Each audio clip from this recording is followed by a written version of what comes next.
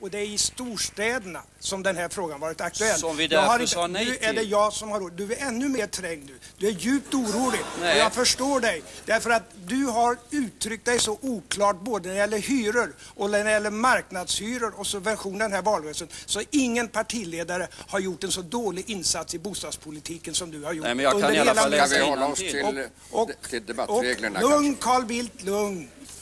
Ja, det är inte nog med att Allan Larsson har satt sig på ljugarbänken. Nu har han fått sällskap av Ingvar Carlsson.